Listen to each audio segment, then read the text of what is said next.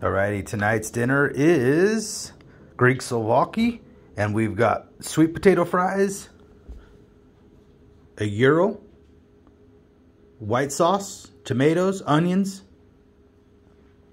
Oh yeah. Like and subscribe would be appreciated. Thank you so much, guys.